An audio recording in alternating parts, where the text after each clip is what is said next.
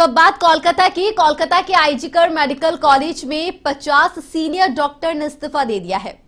उन्होंने 5 अक्टूबर से आमरण अनशन कर रहे जूनियर डॉक्टर के समर्थन में रिजाइन किया है। बता दें कि जूनियर डॉक्टर हेल्थ सेक्रेटरी को हटाने के समय तीन मांगों पर अड़े हुए हैं और ममता सरकार ने डॉक्टर से अनजान खत्म करने की अपील यह जो है खत्म करने की अपील की है।